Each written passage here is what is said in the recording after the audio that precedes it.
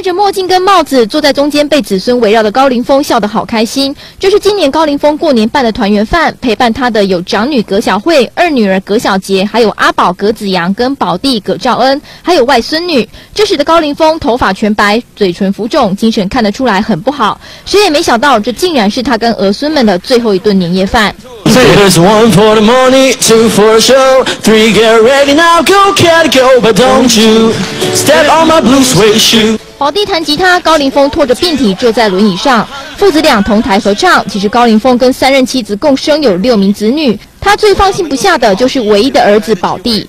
我希望我跟他同台的时候，这份记忆在宝弟未来的人生中，变成他在挫折中的时候。